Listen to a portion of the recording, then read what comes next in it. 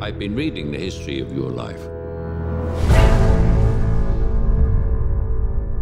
And I've written my fair share of it. But your story has no end.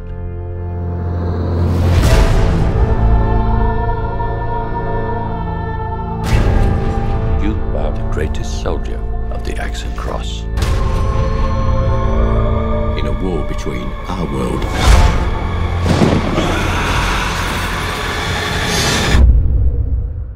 the next.